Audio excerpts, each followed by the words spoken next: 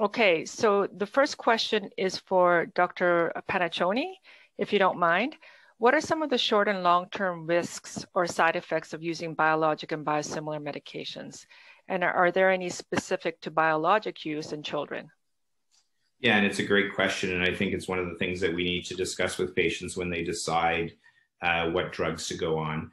Um, we talked a lot about anti-TNF uh, tonight, and so anti-TNFs themselves um, are associated with a uh, an increased risk of uh, infection. So that increased risk of infection over a year is about one in ten, where somebody may have like a bronchitis or an uh, upper respiratory tract infection or a urinary tract infection, um, and then uh, out of those, about one in a hundred will require biologic, I mean, an antibiotic over a year.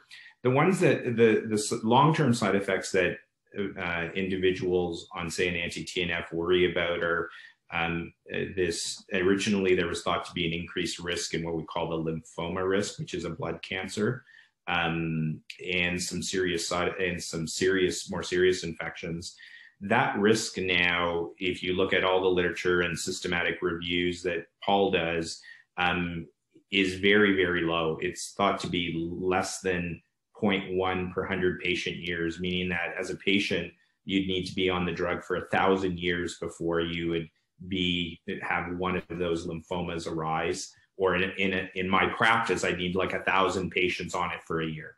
So infections, lymphoma, and then injection site reactions or in, or in what we call infusion reactions can happen in about two to five percent of uh, individuals.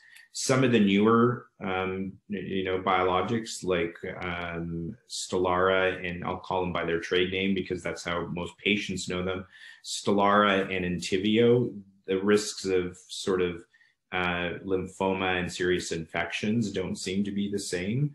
Um, they are described in the clinical trials at similar rates, but not at different rates than placebo.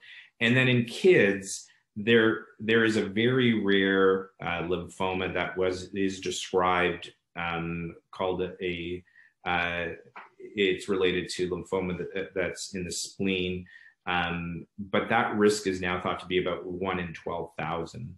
Um, and it's usually related to children who are on combinations of therapy.